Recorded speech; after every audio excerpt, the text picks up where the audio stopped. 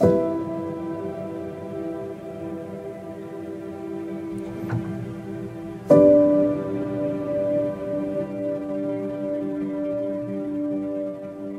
I'm Ken Jacobson, one of the programmers for DocLands, and I want to welcome you to DocLands and to this Q&A for Public Trust, directed by David Garrett Byars. First, I want to thank our supporters of the festival, our sponsors, our California Film Institute members, and of course, you, our audience. Now on to the film. Public Trust has had, had its world premiere at this year's Big Sky Documentary Film Festival and is screened at Mountain Film, the Minneapolis St. Paul International Film Festival, and numerous other festivals. We're thrilled today to have with us director David Garrett Byars and producer Jeremy Hunter Rubingh.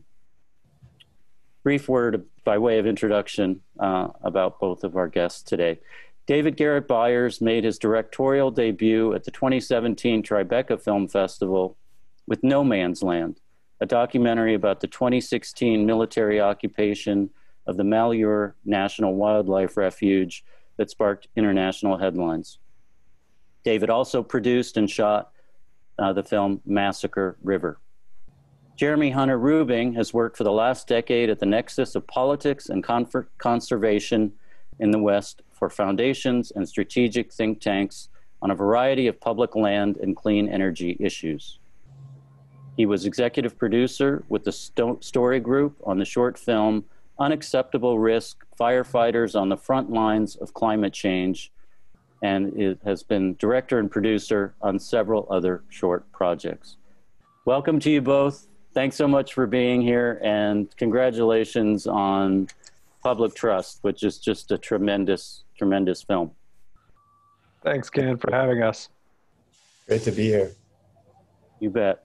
So let's jump in. Um, what what was the genesis of the project? Uh, who whose idea was it? How did it come together? And and how did you both uh, come to the project? Uh, well, I'll, I'll start with this, and then I'm going to pass to Jeremy. But like, I think really this this project, you know, it started from a topical standpoint, which is really kind of insane uh, to try to take a, a topic as big as public lands and then drill down into it in terms of a narrative and, fit that within the uh, documentary format uh, just because of the sheer scope in terms of the context, uh, historical and philosoph- philosophical, but also, um, you know, the actual physical object of, of, public lands. So really, I mean, man, this this this kind of had, uh, I think, both of our backgrounds. Um, there, the the the origins of this project exist in the in the in both Jeremy and I's backgrounds, as well as with Patagonia. But then it was when we all kind of came together, is when the project really, um, you know, had life, um, started to take some structure, and then also had uh, funding, uh, which is you know obviously super important, especially for a, a film of this scale.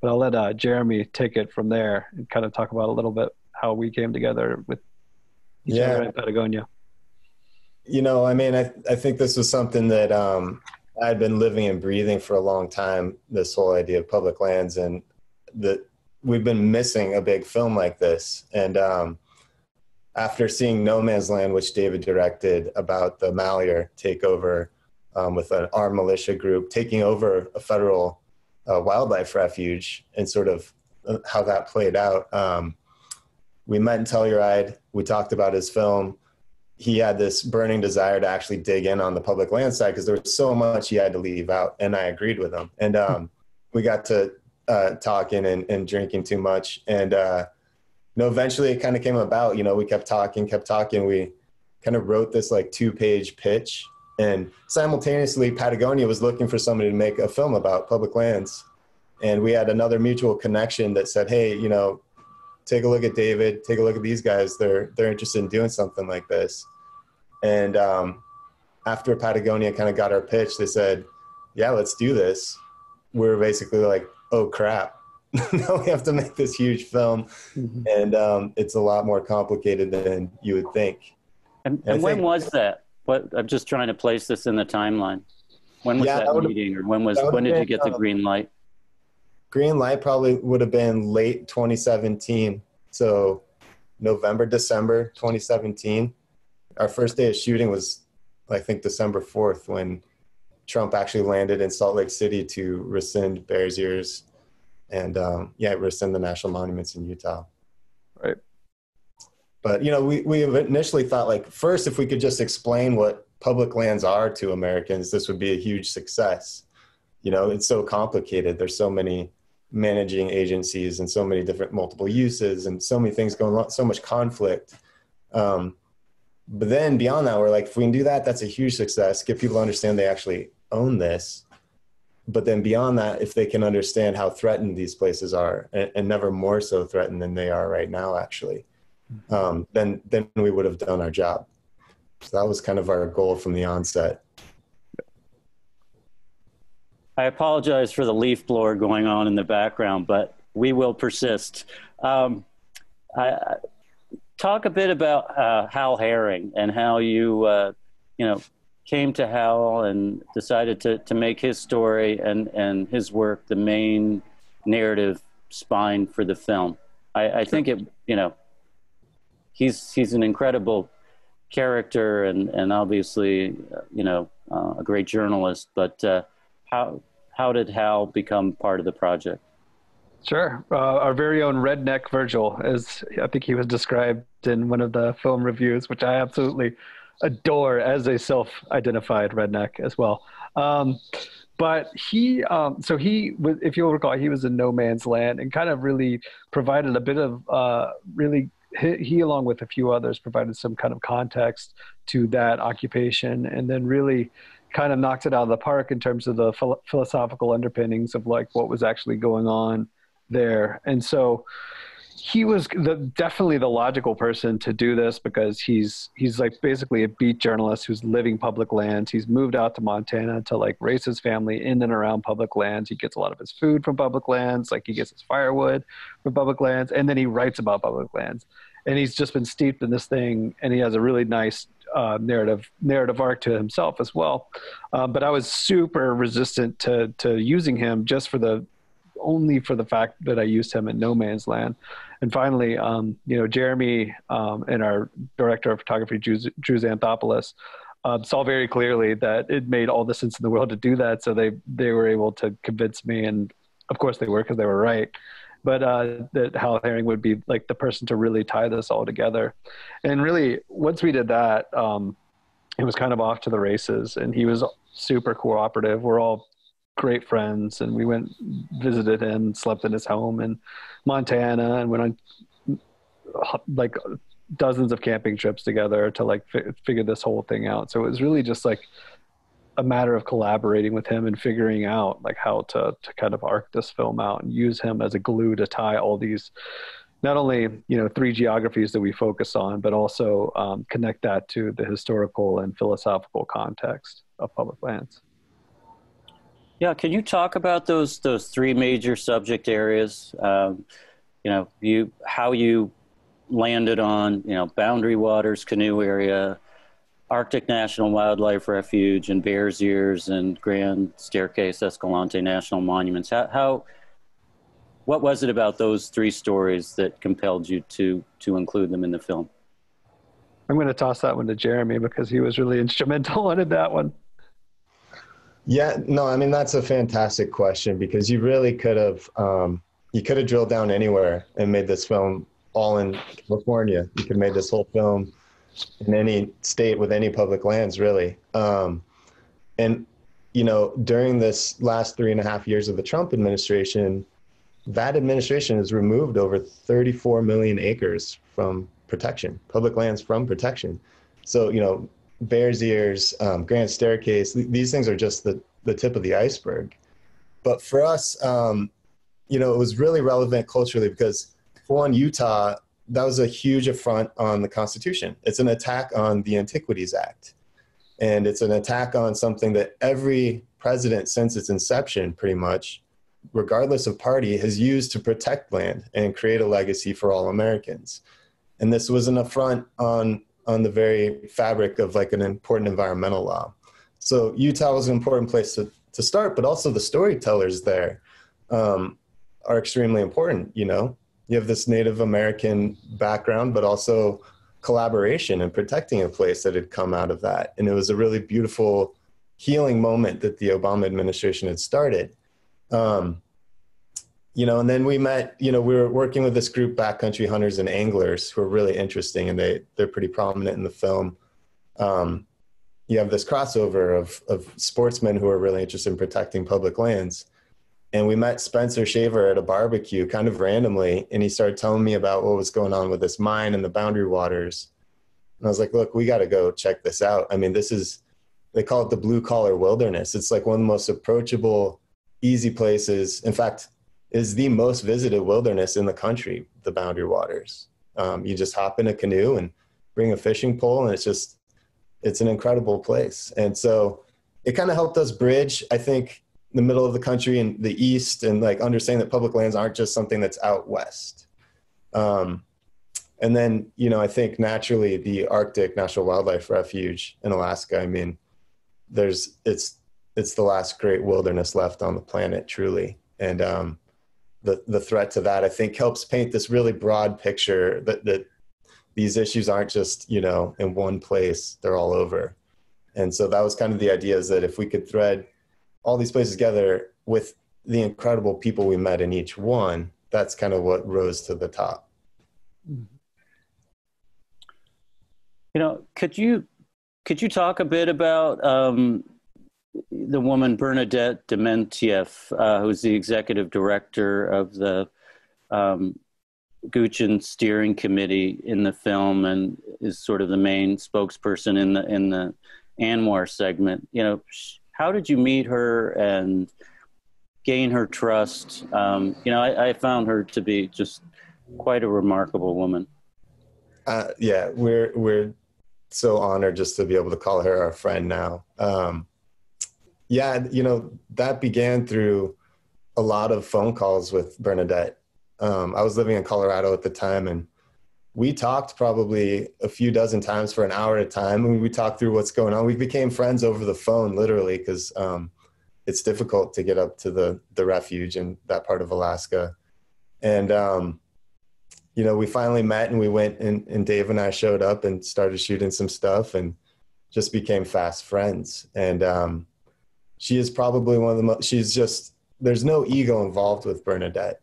She's doing this solely for her people and her grandkids and you get that i think. I think that comes across. This is just what she has to do and she will accomplish that by any means necessary and she's really welcome to you know outsiders that a lot of communities might not be as long as they're respectful and like show up for her and so that's kind of been um, our understanding is that you can't just drop in in a place and extract a story. You have to continue a relationship. And um, Bernadette is like, you know, she's a force. She's incredible. In terms of updates, um, you know, just a week ago, you know, um, it was reported the Department of the Interior approved plans to open ANWR for leases to drill for oil. Does that mean we can expect leases to be granted and oil drilling to begin? Um, you know, what's what's sort of the timeline with that, and um, you know, what would that mean for the coastal plain and the, and the porcupine caribou herd? You want to jump in, Dave? Oh no, that's all you, Jeremy. um, yeah, I mean, so yes, that is a record of decision. It's a very important thing. It's a step forward towards uh, a lease lease sales that would happen up there. Um, there are legal challenges, of course, um, and there will continue to be. My understanding is that there, you know, the, what came out of the Department of the Interior is that they want to try to have those lease sales as fast as they can. They said as early as um, winter of 2021, but then there was a comment from Secretary Bernhardt that maybe they'd they'd be able to do it by the end of 2020. Um, it's a rush job, and frankly, by not doing your groundwork properly and not even even if you disagree with the science that's in your face saying that you can't do this without impact, um, if you rush it through, you're going to miss things, and it's going to be subject to legal challenge. So you know, it's hard to say from from the armchair down here in the lower 48 what's really going to happen. But if those lease sale happens, that's incredibly difficult to undo. That's incredibly difficult to go back and, and take those away. And it would just be devastating, even if the, the drilling doesn't happen, if it's not economic. Like we have a glut of cheap oil right now in this world. So it's absurd to me that we would be leasing this fragile place. But, you know, if those lease sales were to go through and a major company were to hold them, boy, to get that back would be hell of a lift. Yeah. Uh, as far as the other the other sites in the film, Bears Ears and Grand Staircase and the Boundary Waters, um, you know, in terms of you know, you you alluded to it earlier with uh, um, you know Trump kind of reversing the Antiquities Act, whether that's a legal action or not. What where are we with legal action to to reverse what Trump has done by by reducing you know the amount of public land in those those two monuments and reducing them by huge amounts. Yeah, I mean, this probably Dave always wants me to be on top of these issues, so I'll, I'll jump in. But um, I think there's a more a bigger philosophical question there too that maybe Dave you can jump in, like because just reversing Trump stuff isn't enough. We, you know, we weren't doing enough to protect these places before that. But um, yeah, legally, you know, the the Bears Ears Grand Staircase, um, the lawsuit against that decision has standing. The Trump administration had asked for that to be thrown out, and it hasn't been. So, I think the expectation is that kind of any minute now there could be some ruling from a, a federal judge on that, and um, or at least that that case will progress. And I think there's a lot of um, people are positive of the outcome that it would re- reinstate protections. But right now, the place is in limbo. I mean, it has no, there's no understanding of like where the the border actually is, and they're operating as if it's the executive administration's borders, but locals on the ground say that the area is managed by Google right now because you just Google where you want to go do something, or you know, there's no management. Um, Boundary Waters has a bill that's progressing through the House right now. It's moved through subcommittee that would protect the watershed, and um, it would withdraw those mineral um, claims or the the the mining concept. And you know, with COVID and with where things are right now with the House, I think that's a little bit stalled out. But um, you know, Spencer would would be able to update me a little more on that soon but yeah, there's a really promising bill that's got bipartisan support to protect it. Um, the Senate, however, getting that through the Senate is is very questionable. So I think that's um, kind of the most recent updates on both those places. You know, you alluded to it a, a minute ago, uh, but it, was a specific question I wanted to ask, which is you know, while a Biden election would obviously portend, portend well for public lands compared to four more years of Trump, just because, you know, of the different priorities of the different parties and who they represent, what other strategies electorally, administratively, legally can be employed to keep the public lands safe regardless of who is the next president? And what can people average, ordinary people do to stand up and support the public lands? Sure. I think um, one thing that, you know, I'm always advocating for, and, and I think this, this film is part of, is like just shining daylight on this issue and like having people understand what public lands are and knowing that, like Jeremy said earlier, knowing that they belong to them you know, for me, coming from, you know, I grew up in Georgia for the first 20 years of my life, moved out to Colorado um, in my late 20s. I had no idea what federal public lands were or the concept of this thing, you know. Um, so I and I didn't certainly didn't know the scale of it, you know, beyond like national parks and stuff like that. And I think my journey from kind of this complete ignorance of the subject to um, to like a rudimentary understanding is what we're hoping for everyone on this, and that it becomes important to them and so uh, you know this film is a tool to to do both of those things but i think we also need to you know reach out to those around us and especially those who aren't you know typically those who enjoy public lands you know that it's not just the mountain climbing you know mountain biking hiking lake crowd you know, and like get people out there who, to to be on these lands because they do belong to them.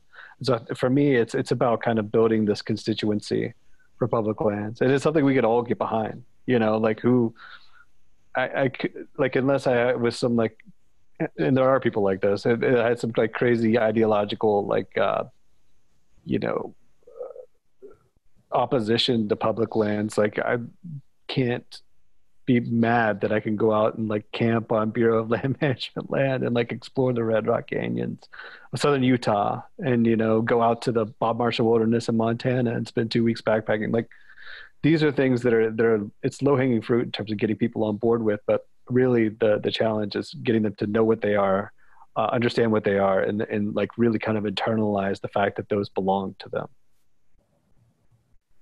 Yeah, I mean, one of the things Hal says in the movie is you know the future of the American public lands is as important to our nation as the Constitution itself.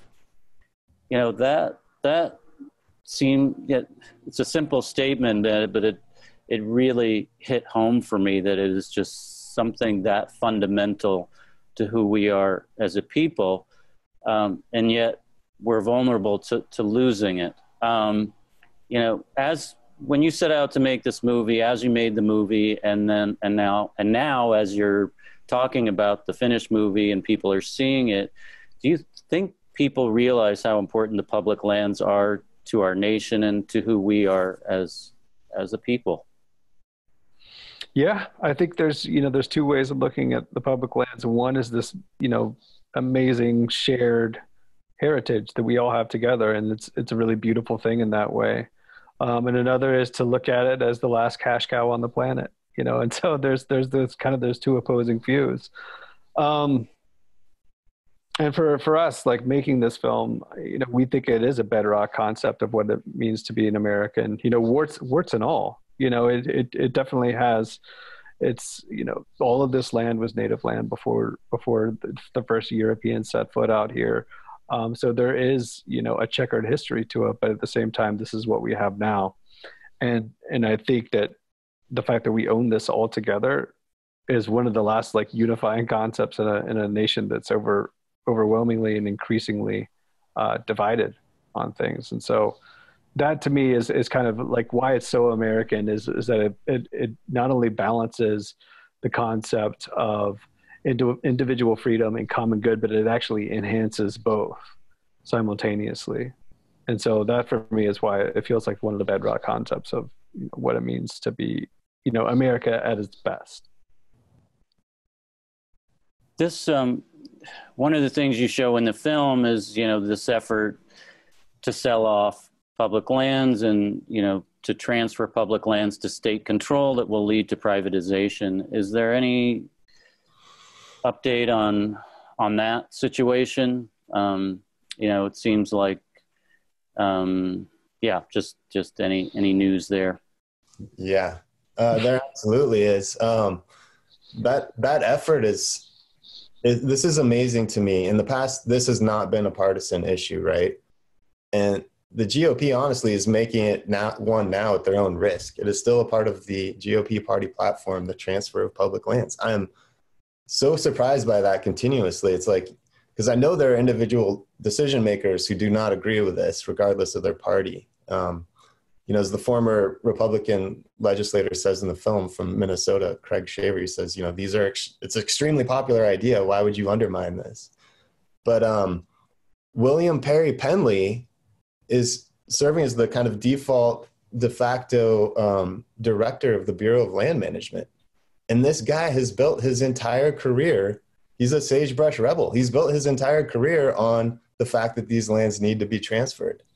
Um, and his nomination to be confirmed by the Senate was just pulled um, like a week and a half ago. Very political reasons, because it would force some Republican senators who are very vulnerable in this election cycle, namely um, Cory Gardner in Colorado, Senator Gardner, and uh, Daines in Montana to then vote to confirm somebody who wants to transfer public lands in states where public lands are bread and butter. Like you don't mess with public lands in Montana, you don't mess with public lands in Colorado if you want to win an election. And so it was a very political move. and in this legally suspect way, um, the way they had written the rules that okay, so we don't have a nominee right now, but the default de facto person running the BLM is the deputy director, who would be the same guy, and so that who is who is running this massive bureau. Um, so I think the update is that despite what politicians may say on camera and, and, and in confirmation hearings, the people who are actually running these agencies right now are people who would undermine the American public of their birthright. You know, um, so that's that's the update. It's very much a threat. Mm-hmm. I think we have time for one more question, and and I um, so I want to um, ask you guys, you know, the film is one of the things, it, it, does many things so incredibly well, and including it's very, very well edited. So hats off to your editor. Um, the, um, you know, one thing I wanted to highlight here, though, is it has a very uh, impressive balance to it in terms of tone. You know, on the one hand, uh, um, you know, there are some stark warnings here, alarm bells are being sounded. But on the other hand, you know, there's also a sense of optimism and you know that that people are able to make a difference and especially when they're organized um, you know so sitting here today you know how do you feel in terms of that balance between optimism and alarm when it comes to protecting our public lands? Oh man ken i wish you could have seen some earlier cuts of the film. Um, yeah that's uh, that's something that we were constantly you know trying to balance is like we wanted to be i think we when we were pitching it jeremy what would you say? The part level part love letter part expose and then part educational platform? And those were kind of the three things we were trying to do is like make sure that we were achieving all three of those in a balanced way without compromising one of them. You know giving people a rudimentary understanding of public lands is obviously uh, essential but then also like not only sounding the alarm bells, like you said, but also striking the chords of reconciliation and um, you know inspiration and aspiration. You know of what it what what what are the better angels better better angels of you know the American nature for for to absolutely butcher a, a, a metaphor there, but um but you know those were the three things that were very important to us. And so balancing those was just constant. And you're and you're absolutely right. Like uh, lyman smith our editor was so instrumental in doing that, you know, and me and Jeremy and Lyman just constantly putting our heads together and watching cuts over and over again and being like, oh, this version feels a little darker than the previous version, or this one just feels a little too woo woo, like let's dial it back, you know. It's definitely, and like we disagreed a lot on this as well, which I think was an important part of the creative process as well, is this creative t- tension pulling us in different directions to make sure that we were honest with ourselves that we were actually seeing the film for what it is rather than just you know kind of you know not being able to see the forest for the trees the only thing i would add to that is you know we are in this pretty dark moment on the surface when you talk about public lands. I mean or or a lot of issues but you know president trump is the only president in united states history that has removed more protection for public lands than he's protected. The only president in history. But we're in this moment right now, in this coronavirus moment, where more people than ever are, are figuring out their public lands and um, getting out into them. And we're learning these really important lessons that if we want to keep this thing, we got to be more inclusive. You know, too often people use public lands look like me. And um, that I think a lot of folks haven't been invited into our public land system in the past and so we're losing some or we're, we're learning some important lessons about like hey if we want to keep this this has to be a broad tent and by the way like we talk about equality let's make sure we're having equality in our public lands and they're safe places and approachable places for other folks. And so i think there's a lot of reasons to be super positive um, but as dave has said and i think he puts it really well it's you know we didn't want to let the audience off the hook at the end. This we get to keep this if we fight for it you know? This is about our democracy and we got to be involved citizens if we want this. Yeah i think that's a great note to, to end on um, i think uh, you guys have done us all such a great service by putting these issues front and center and doing so so beautifully and artfully i would add Um, so I want to thank you both, congratulate you, Jeremy and David, on an incredible film. Thank you for uh, being with us today. And uh, to our audience, please do spread the word, not only about this film, but about our public lands as well. Thank you all. Thank you, Ken. Thanks, Ken.